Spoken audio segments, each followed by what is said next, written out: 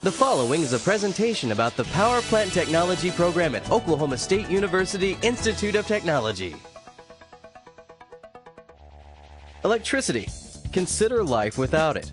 With the first switch you flip in the morning, you're connected to a huge network of power lines, machinery, and the people who operate and maintain it. Our goal for the program is to prepare students to become candidates for jobs in our power plants. A steering committee worked for two years to create a specialized curriculum designed to meet the imminent employment voids in the power industry. A lot of the uh, power plant operators that are operating plants today, uh, within the next seven to ten years, approximately 50 to 70 percent of them are coming of retirement age.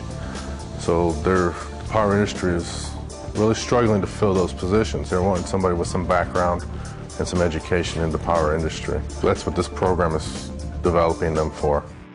These are the requirements to earn an associate in applied science degree in power plant technology.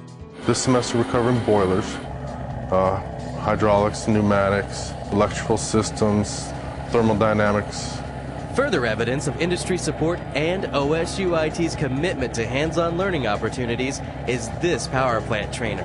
Right here is my, uh, my main steam pressure gauge. This trainer is going to be tremendous for the students. It's basically a miniature power plant. We can run it, make electricity with it. The steady state is defined by 0.2 amps, 6 volts at 110 psi. In the labs, they get an opportunity to actually put their hands on the uh, types of equipment that they're going to find in the power plant. So did you hear the turbine bog down? I can talk all day long about what a boiler is and what a generator is and what a cooling tower is. But when you can stand there and touch the thing, it makes learning all totally different. And it was just an awesome donation. It's just been a good example to actually visualize and see, you know, what a power plant looks like. Power plant technology students also tour area plants to see the work involved firsthand. Uh, last semester we got to see a big uh, power plant and uh, it's really neat because you actually get to, you know, see how big everything is and um, see all the things we've been talking about and how they actually work. Every program in OSUIT's Engineering Technologies Division includes an internship. Well, I think internships are a key part for the students because it gives them an opportunity to see what a real power plant is like and how it operates. Uh, it can be noisy, it can be uh, intense at times, but it provides a, a, service and a product that we all count on every day. I actually did an internship in a power plant, decided I liked it, and put my resumes in only at power plants actually, and that's where I ended up. Green Country Energy in Jenks, Oklahoma is an 800 megawatt gas turbine combined cycle power plant. Anderson has worked here for eight years, often alongside several other OSUIT graduates. Yeah, can you come to the control room? 10-4, on my way. There's multiple systems everywhere, uh, different stuff, so you use everything you learn in uh, PLCs, uh, the electrical side, the computer side, use everything. So it's just something exciting every day to be able to use. Students also have access to the same technology used at Green Country Energy. Scott Palmer helped implement DeltaV at OSUIT.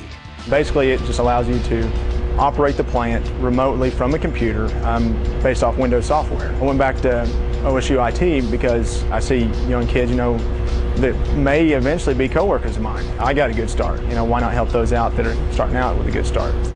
OSUIT degree programs have a nearly 100% success rate in job placement.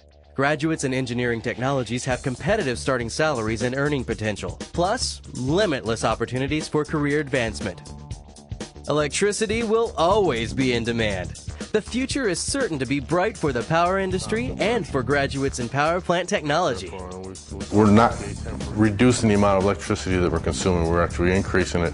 So we're building more and more power plants and there needs to be somebody there to operate. We're looking for, for graduates that we can uh, move into uh, more than entry-level positions, and because of the education they're going to receive here, they're going to be able to do that. It's kind of a secure thing in today's economy to, to see out, hey, we need, we need electricity, and um, so it's a comforting feeling.